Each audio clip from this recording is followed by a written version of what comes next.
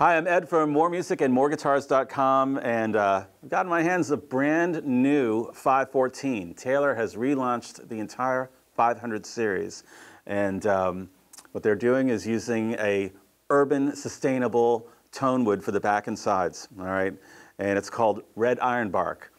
So, never heard of it? Neither have I. No one has, I think.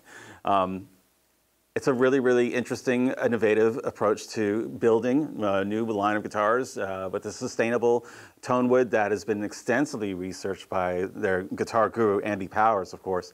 And um, this is a dense, dense wood. You know, he describes it as something in between rosewood and ebony in terms of density.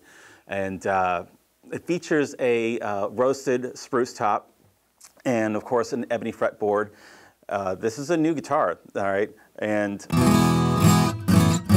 I've just been playing it for the past uh, 15, 20 minutes, and you know, of course, it's got the playability that you expect of a Taylor, and it really does reflect this manufacturer's approach to innovation. You know, V-class bracing completely changed the way and revolutionized the way that guitars have been internally braced, you know, for 100 plus years.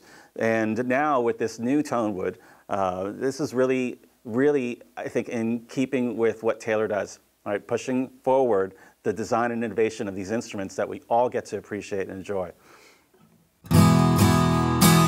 Yeah, it's great. You really got to get your hands on it. It's available here at Moore Music and MooreGuitars.com.